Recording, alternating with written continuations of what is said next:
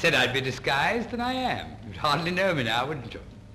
Oh, did you hear about the man who met another man the other day? He said, you're the beast who stole the affections of my wife. The other man said, uh, I beg your pardon? So the first man said, I beg yours. Now, accordion players used to be considered quite a pest. Now they're liked by the great majorities. Jaconelli plays it better than almost all the rest. Accordion to the best authorities. Oh, oh, oh.